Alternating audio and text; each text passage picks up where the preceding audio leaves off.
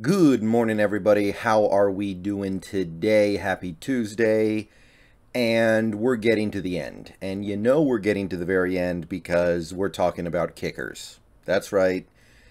It's time to spend a little bit of time on draft eligible kickers. So, if you take a look at the Seahawks right now, we kind of know this season's not going to be that good.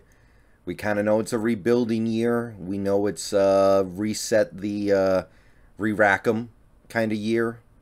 Whatever Pete Carroll may say, whatever he's trying to spin right now, I think we all understand that when you're going into the season with Geno Smith and Drew Lock as your starting quarterbacks, or battling for the starting quarterback job, when you need to completely blow up the offensive line and when you're switching to a new defensive scheme – you are going through a little bit of a rebuild. So, with that in mind, I think the need to switch at kicker becomes even more obvious. Right now, we got Jason Myers in the last year of a big money deal for a kicker. We save four million bucks if we cut him. And look, if we were trying to win this year, like if we kept Wilson, if we spent big in free agency, if we were doing all these things to try to make us have a really good year in 2022, try to go deep in the playoffs, I wouldn't agree with keeping Myers, but I would understand it because you don't want to take a chance on a kicker who you've never had before and could be a complete dud. You want to at least have a guy who's been good in the past for you. But now that we're blowing it up a little bit, now that we're going through this little bit of a rebuild and looking to the future, can't do that anymore.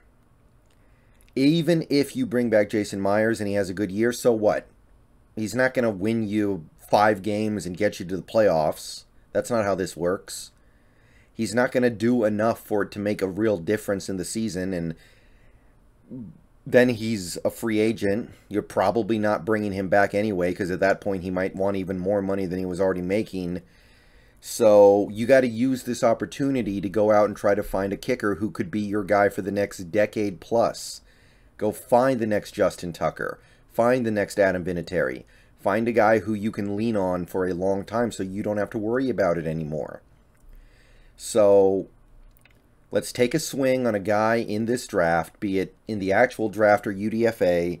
If it works, great. If it doesn't work, then whatever. The season wasn't going to be good anyway. Let's try to get somebody else in the following year, maybe. So let's look at some guys. I only got three guys, to be perfectly honest. Um, it's hard to find scouting stuff on kickers. It's hard to find information on the top college kickers. There is some subjectivity here, but um, I think the most interesting guy for Seahawks fans would be Cameron Dicker from Texas Longhorn. So to recap, if we get Cameron Dicker, and by the way, ESPN thinks he's a late seventh round pick. CBS thinks he'll go undrafted, so it shouldn't be hard to get him. You will have Dicker from Texas and Dickson from Texas as your special team specialist. So that's pretty good, right? That's pretty strong. So that alone gives him a lot of appeal.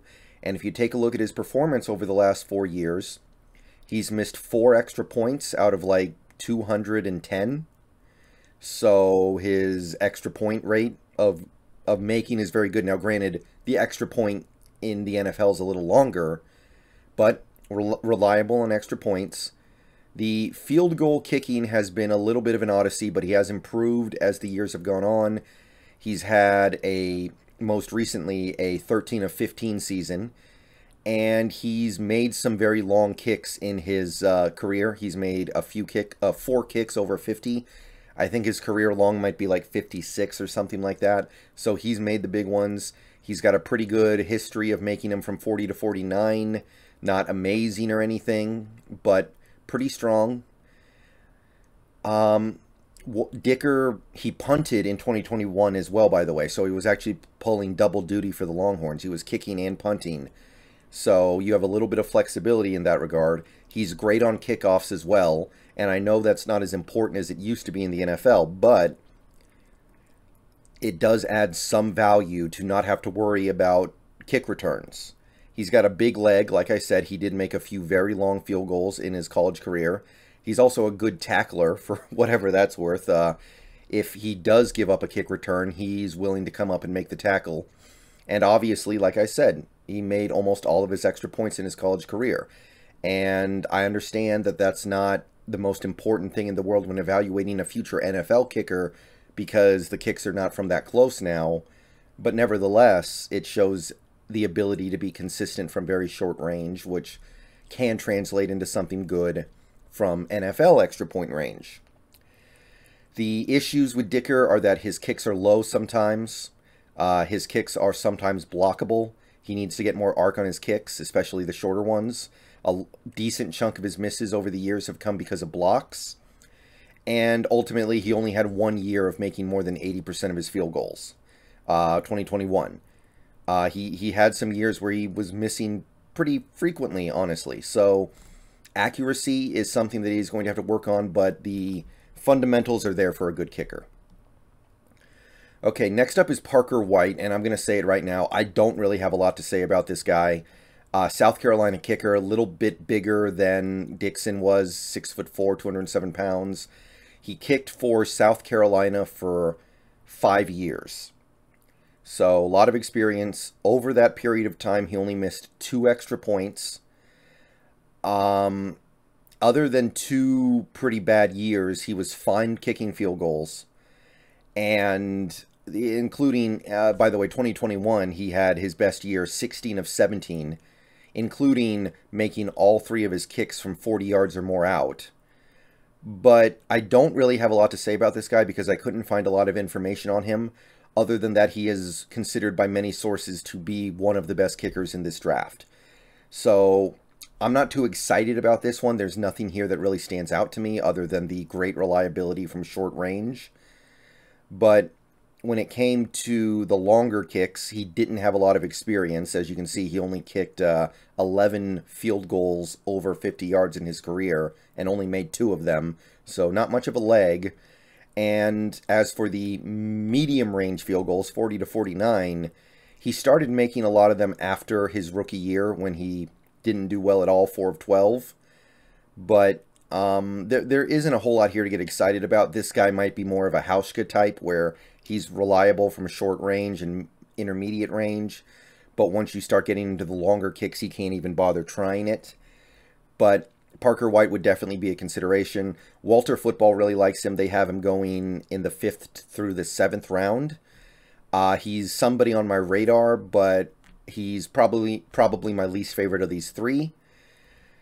And now we get to my favorite. This is probably the guy that is most interesting.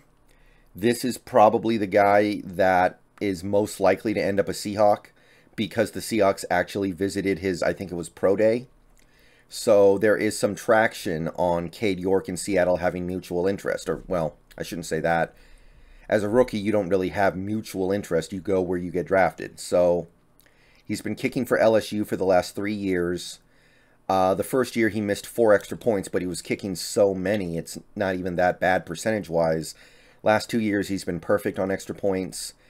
His field goal percentage has been pretty good for most of his career.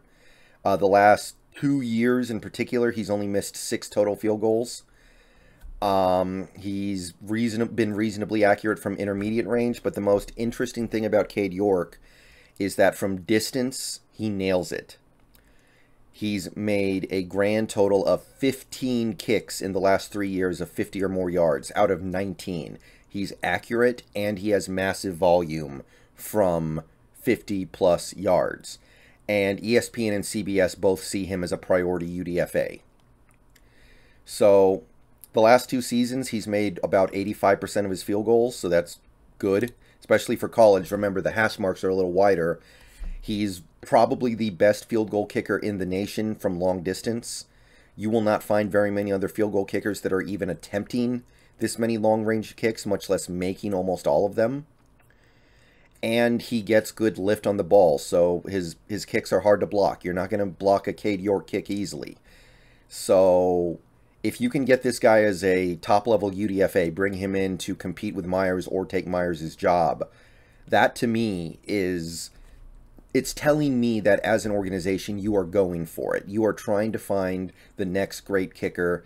and you are trying to do something that takes care of this issue for us for years. Now, what I can say about Cade York in the negative would be that he didn't do kickoffs at LSU. Now, that doesn't mean he can't do it at L- in the NFL. That doesn't mean you have to have a kickoff specialist. But for whatever it's worth, he didn't do kickoffs at LSU. He doesn't do a whole lot with onside kicks. His onside kicks are bad. I don't know how much that matters in the modern NFL where they've made onside kicks really hard to recover anyway. But uh, Dicker actually was good at um, kick at onside kicks. One thing that I uh, eh, um, did not mention above, but he is actually considered to be pretty good on, on the onside kicks. And sometimes he pulls his kicks a little to the left. So that's probably something he can work on as time goes by, but Cade York would probably be my favorite of these three options. There are some other guys in this draft who may be of appeal to the Seahawks, but I want to get somebody young. I want to take a shot on somebody new.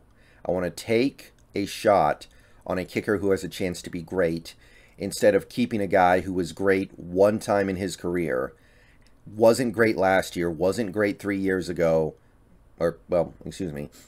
Yeah, yeah, three years ago. And at the end of the day, because of his age and because of his contract situation, probably won't be here by the time we're good again anyway. So, those are my three guys. Let me know if you like anybody. Let me know who you like of this list. But these are the top three kickers in this rookie class as near as I can tell. All right.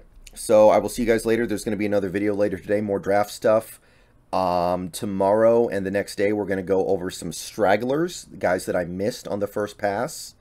So we've got a few more things to grind through here, but we are almost at the end. So I'll see you guys later. Go Hawks. Let me know what you think.